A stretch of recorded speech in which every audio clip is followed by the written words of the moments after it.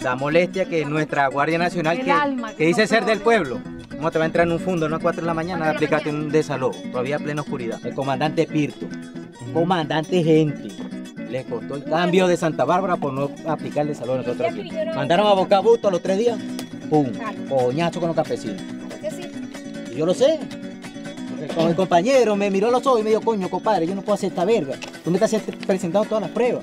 Claro, nadie puede maltratar a un campesino. Eso, eso, por eso estamos aquí.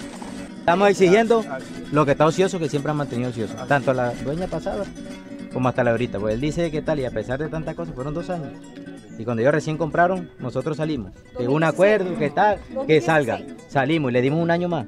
Y siguió, y siguió, y siguió, y siguió el fondo igual. El fondo siguió igual. Hasta ahorita que remitieron con nosotros en noviembre otra vez.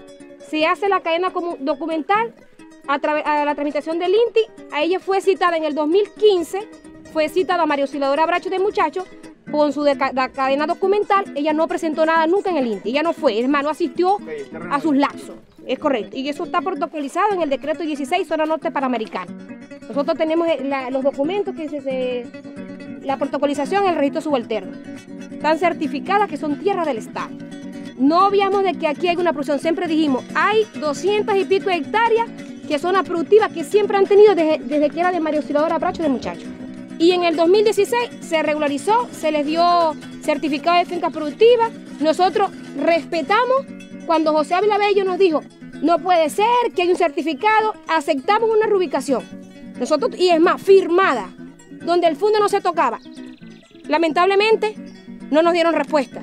Desde el 2016, optamos al 2017, un año después, y no hubo respuesta. Nosotros estamos bajo que 40 grados, bajo el pleno sol, celebrando una asamblea al frente de un predio o de un fondo denunciado por los trabajadores.